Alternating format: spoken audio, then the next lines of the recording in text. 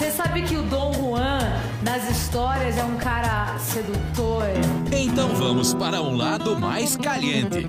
Tem cabaré essa noite. Sempre tem que começar com o elogio. Tá um gato. E você também tá gostosíssima, viu? Ai, Parabéns. obrigada. E tudo bem criar expectativa. Mais gato pessoalmente. Porque com a gente você nunca vai sofrer.